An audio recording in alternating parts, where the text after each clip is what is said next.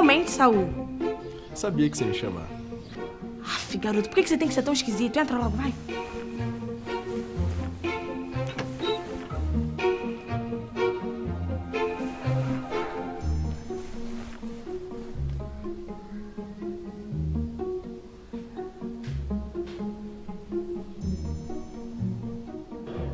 Eu achei que você vinha mais. Mas como? sei lá, cigano colorido. Ah, por favor, né? Isso é muito previsível. Onde que a gente vai fazer? Pode ser ali. Pega um copo d'água pra mim, por favor.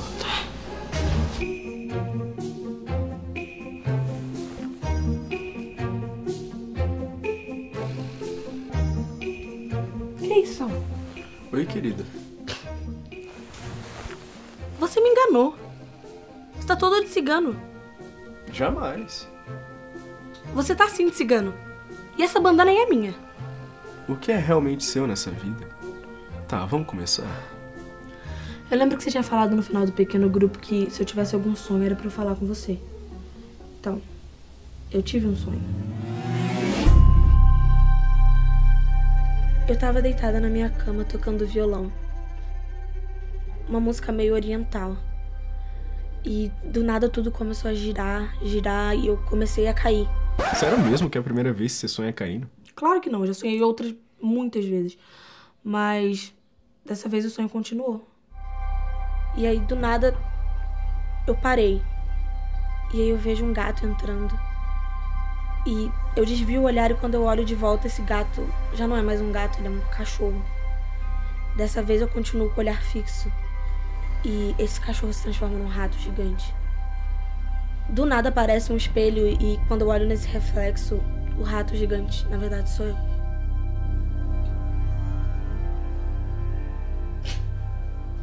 O que foi tudo isso? É coisa ruim, né, Saul? Me fala. Eu falei pra você que você ia sonhar. Sim, eu sonho toda noite. É, só que dessa vez foi diferente, né? Só que eu não sei se eu te conto. Conta logo. Tá, olha. O rato. O rato é o João. Tá? Só que você tá correndo atrás do rato, só que na verdade você tá correndo atrás de si mesmo. Nossa, que profundo. Mas. E quem que é o gato? Miau. Ai, seu miguezeiro. Calma aí, eu te falei que eu não queria te contar. Ai, se enxerga, garoto. Eu entendo que você quer o rato, quer dizer, o João. Mas eu tenho uma coisa pra você que pode te ajudar. Ó.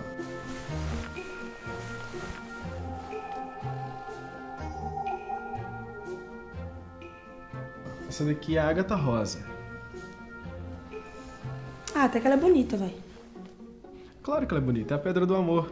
Mas você bater nas pessoas desse jeito, eu acho que não vai dar certo. Eu penso que é chácara preso. É, eu acho que eu tenho batido bastante no João, né? Tá, como é que funciona?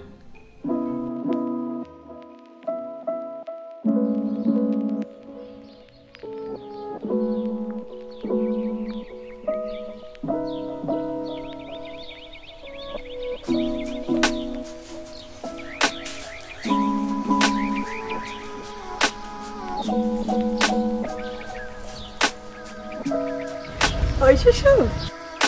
Oi, Ju. Tá tudo bem com você? Tá. É que você tá parecendo meio simpática. Sério? É que, tipo, se fosse em outro momento, você ia estar me batendo e falando Como assim, que eu não sou simpática sempre? Claro que não. Hoje ninguém bate ninguém, tá? Tá. Ju, sabe que eu tava querendo falar com você? Tá tudo bem, Ju? Tá tudo bem. O que, que você queria falar? Ah, era sobre o pequeno grupo mesmo. Tipo, foi muito legal o último encontro. Tipo, a Camila falou super bem, a sua casa é ótima. E eu tava pensando se dava pra ser sempre lá, né? Ah, é. Acho que dá, sim, é. é. É, então, porque se a gente ficar sempre mudando de lugar, vai ficar bagunçado. Você não acha? Não, é. é. Acho que sim. Hoje você vai ficar em pé mesmo. Olha lá, João. O quê? Atrás do queijo? Não, não, já foi. Tá falando? Já foi. Mas deixa eu te perguntar. Você entende essas coisas espirituais, né? Acho que sim. Tá. Na Bíblia eles têm algum tipo de interpretação de sonhos? Ah, meio que tem, né? Na história de José e na de Daniel. Tá, então. Deixa eu te contar um sonho estranho que eu tive ontem. Sabe aqueles quando você acha que tá caindo e aí você acorda? Só que dessa vez eu não acordei. Eu caí eu não acordei. E aí. Era. Eu tava dormindo, tocando violão. E aí, do nada, apareceu um gato. E esse gato se transformou num cachorro. E esse cachorro se transformou num rato. E do nada apareceu um espelho. E aí, quando eu olhei pro espelho, o rato era eu. Ô Ju, você não tá comendo muito cogumelo, não? Claro que não. Tá. Ju, se eu fosse interpretar seu sonho, eu diria que você é todos os animais. E às vezes você se sente como um, às vezes você se sente como outro, e é por isso que no final você se vê no reflexo. De jeito nenhum. E eu não tenho cara de rato, João. Já eu pensei que você fosse todos os animais. E eu tava só de fora olhando. Então agora eu sou o rato. tá bom. O sonho é seu, você decide. Como assim, João? Você não acredita em revelações espirituais? Ah, eu acredito, mas eu acho que o, o mais importante Deus já revelou. E não foi para um ou para outro, foi para todo mundo na Bíblia. Tá, mas me diz como é que você interpretou meu sonho? Ah, interpretar todo mundo interpreta, né? O difícil é interpretar certo. E o mais difícil mesmo, eu acho que é você ter tido uma revelação espiritual especial, assim. Eu acho que você precisa mesmo é de um psicólogo. É o quê? Ai, acabou de perder a oportunidade de estar no meu sonho. Tá bom, Ju, então você me conta o resto do sonho lá no pequeno grupo, tá?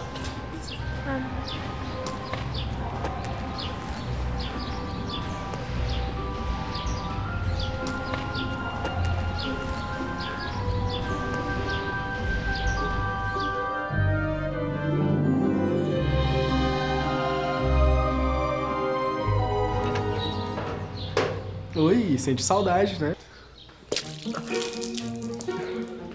Nossa, Saul, você tem um talento pra deixar as coisas esquisitas, né? Ai, entra logo. Caraca, quanto de água cabe nesse copo? Você pelo menos bebeu?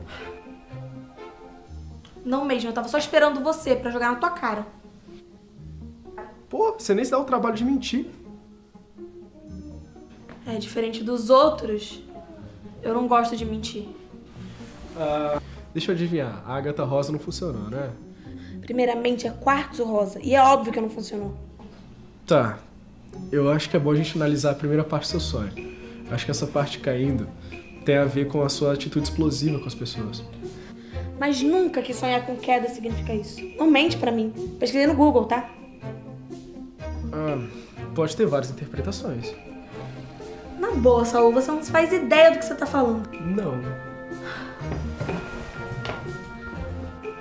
Como que você consegue acreditar nas suas próprias invenções? Mas quem disse que eu acredito? Tá tudo bem se eu não acreditar também.